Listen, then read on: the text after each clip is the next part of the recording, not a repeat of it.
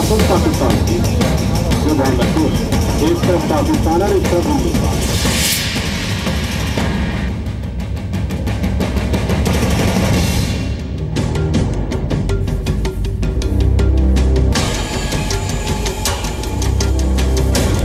नमस्कार, ताल ठोक के देख रहे हैं आप। मैं हूँ आपके साथ रोहित सरदाना। आज एक बार फिर ताल ठोक के का मुद्दा यूपी की तरफ़ घूम गया लेकिन आज कटघरे में यूपी की सरकार नहीं, बल्कि भारतीय जनता पार्टी है।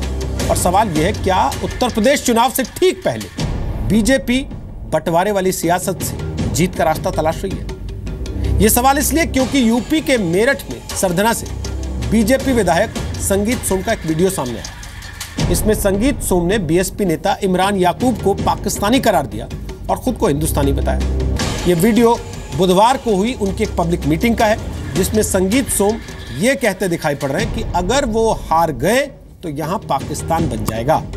तो क्या ये माना जाए कि चुनाव के पहले मजहबी सिक्का उछालने की शुरुआत हो गई है? क्योंकि संगीत सोम मीटिंग में लोगों से पूछ रहे हैं, बताइए, क्या आप चाहते हैं कि वो हारे और यहाँ पाकिस्तान बने? ये उस पार्टी के नेता का बयान है, जिसकी केंद्र में सरकार है और पीएम नरेंद्र मोदी खुद कई बार अपने नेताओं को सोच समझकर बयान देने की नसीहत दे चुके हैं। तो क्या बीजेपी के नेता प्रधानमंत्री मोदी की भी नहीं सुनते? इसके पहले बिहार चुनाव में हिंदुस्तान पाकिस्तान का जुमला उछला था। तो आखिर क्यों चुनाव से पहले सियासत का राग हिंदुस्तान पाकिस्तान में बदल जाता है? और क्या हिंदुस्तान पाकिस्तान करके बीजेपी के नेता असल में हिंदू मुस्लिम ध्रुवीकरण करना चाहते हैं? सपा चुनाव में कोई सी नहीं। भाजपा तरफा है। और अगर थोड़ा बहुत कोई चुनाव में रहेगा भी तो बसपा वाला रहेगा। ये सच्चाई है नहीं और सपा वाले लोग कह रहे हम तो हार ही रहे हमें तो विधायक हराना विधायक को हरा के कहे पाकिस्तान बनाना। मुझे ये बता दो, ये करना क्या विधायक गलत करे क्या? लेकिन युवाओं को सुन लो मेरी बात। लड़ाई यहाँ हिंदुस्तान और पाकिस्तान की जो ध्यान रखियो? एक तरफ़ पाकिस्तान है और एक तरफ़ हिंदुस्तान है। उसमें तुम्हें क्या करना है, ये सोच लियो। कैसा करना? क्या करना? भाई एक तरफा कर लियो मामला। बाकी तो मैं देख लूँगा। अरे, उसके बाप को जुड़ाया था, इसे जुड़ाऊँगी तुम पहले को चिंता कर रहे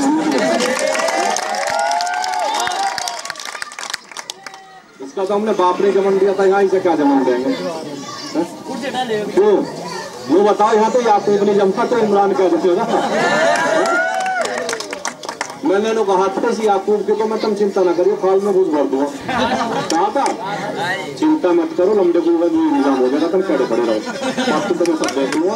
और जय हिंद, जय भारत, भाषण कुछ देना नहीं। बड़े दंगे की फिराक में हैं और इस पूरे पश्चिमी उत्तर प्रदेश में चुनाव के जितना नज़दीक जा रहे हैं हम सब लोग, और जहर घोलने की पूरी साजिश है इन लोगों की। और ऐसे लोग किसी भी समय बड़ा झगड़ा करा सकते हैं। ताल ठोके में आज का पहला सवाल, क्या बीजेपी विधायक बंटवारे वाली सियासत कर रहे हैं? दूसरा सवाल, यूपी चुनाव से पहले भारत पाकिस्तान क्यों? तीसरा सवाल, सांप्रदायिक सियासत से बीजेपी जीतेगी यूपी? चौथा सवाल पाकिस्तान की डफनी पर चुनावी राग क्यों? और ताल ठोक के में आज का पांचवा सवाल, क्या यूपी चुनाव में हेट स्पीच है बीजेपी का हथियार? तो आपको बता दें, हमारे साथ आज राजीव त्यागी हैं, जो कांग्रेस पार्टी के प्रवक्ता हैं, हमारे साथ गौरव भाटिया हैं, जो समाजवादी पार्टी के प्रवक्ता हैं, हमारे साथ प्रेम शुक्ला हैं, जो कि भारतीय जनता पार्टी के प्रवक्ता हैं, और हमारे साथ आलोक मेहता हैं, यहाँ नोएडा स्टूडियो में वरिष्ठ पत्रकार हैं। आपको बता दें कि इसके पहले हमने संगीत सोम को फ़ोन किया।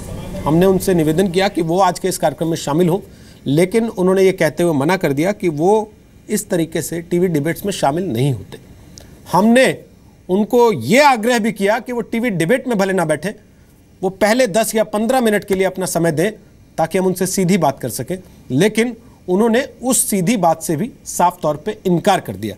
लिहाजा प्रेम शुक्ला अब उनको डिफेंड करना है उनको खारिज करना है उनकी बात को पार्टी की बात बताना है या उनकी बात को निजी राय बताना है ये आपके ऊपर है। आप बताइए।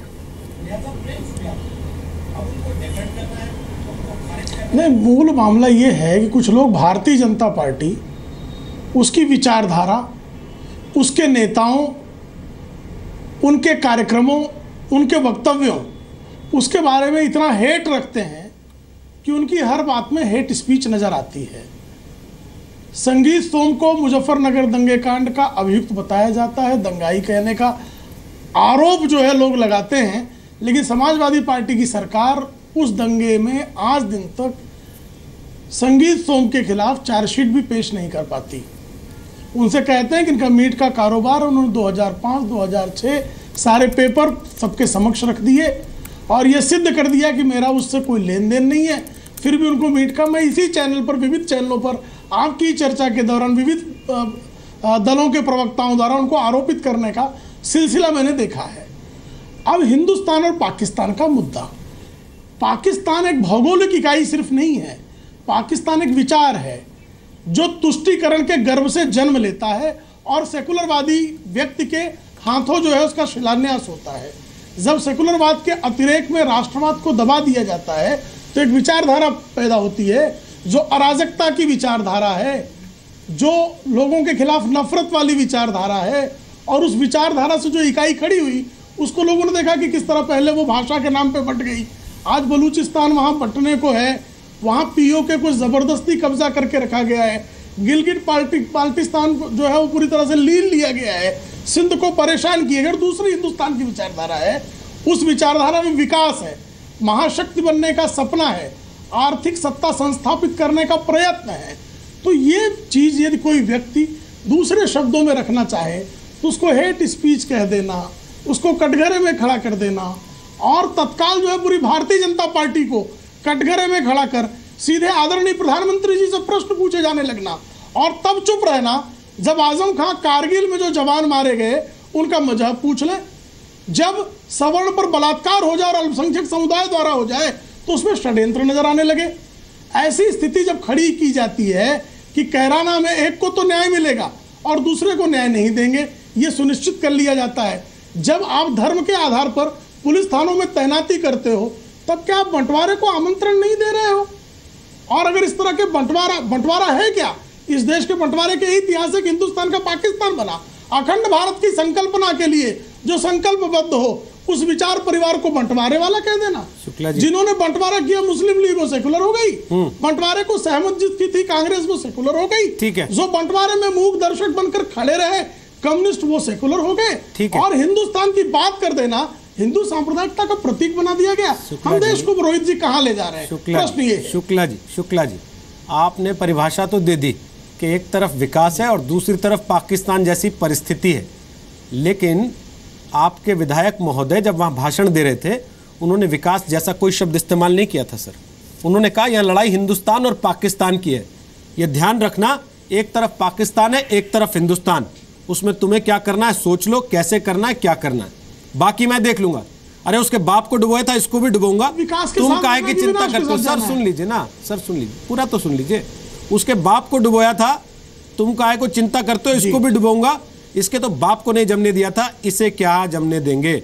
यहाँ तो याकूब नहीं जनता। तो इमरान क्या दिखेगा? मैंने तो कहा था चिंता मत करो याकूब की खाल में भूसा भर दूँगा। कहा था ना इस लड़के का भी यही इंतज़ाम हो जाएगा। तुम चिंता मत करो। अब सर इसमें कौन सा विकास हो रहा है? बताइए ना।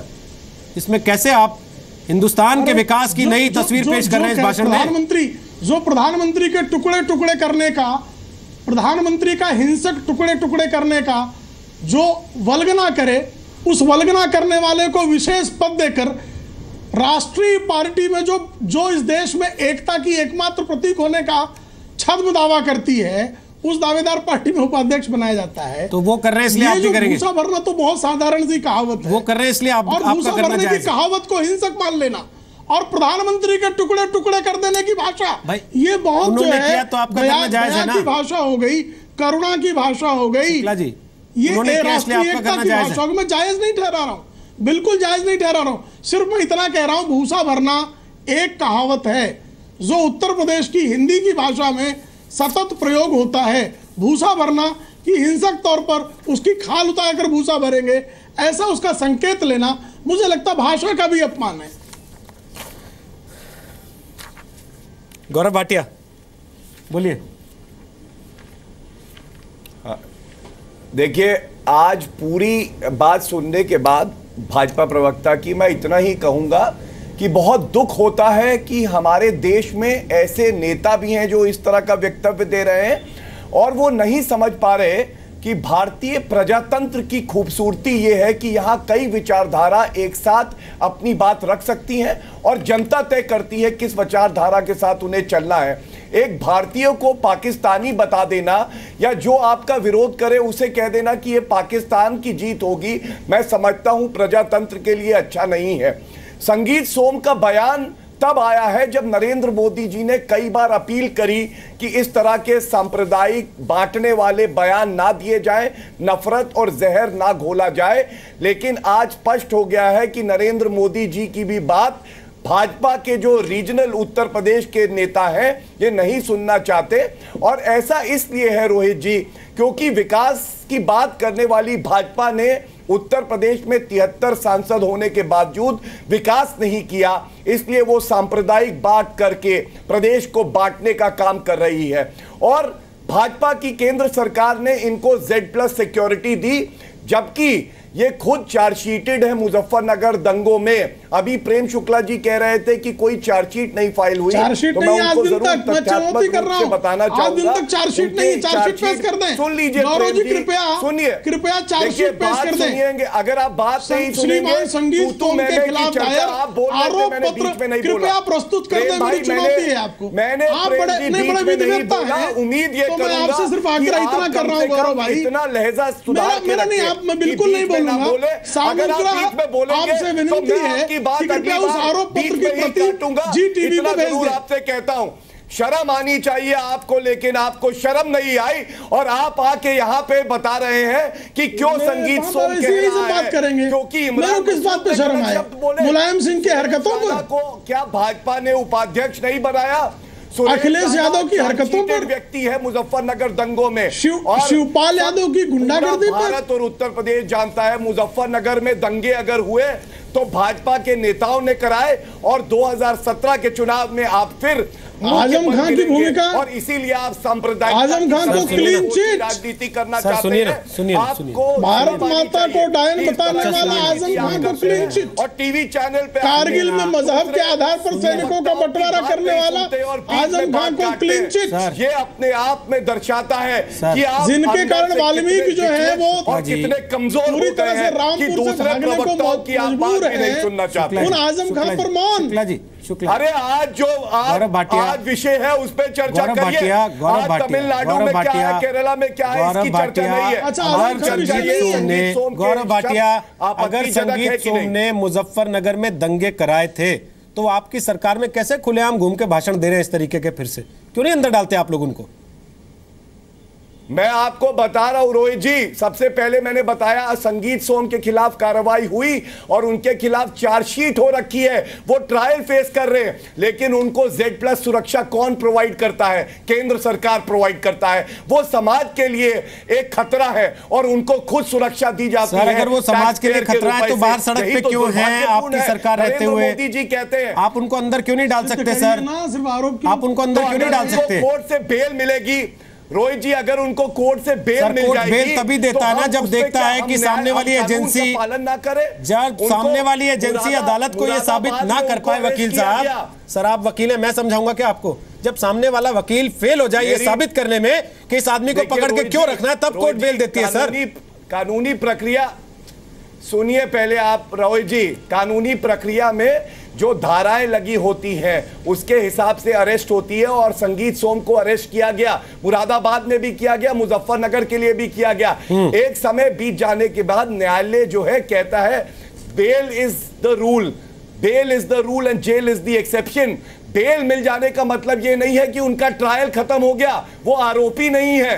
ये बात मैं कहना चाह रहा हूँ। और एक आरोपी को जिसके खिलाफ चार्जशीट फाइल्ड है उसको सम्मान दिया जाता है उसको जेड प्लस सुरक्षा दी जाती है। सुरेश राणा जैसे व्यक्ति को उपाध्यक्ष बनाया जाता है। कैसे ये लोग इमरान मसूद- की बात करते हैं? सुरेश राणा को पाल यादव चार्जशीटेड है। अगले दिन? अब सुनिए अब सुनिए। मुलायम सिंह ठीक है तो है। दोनों है। लोग जहर खोलेंगे उत्तर प्रदेश में।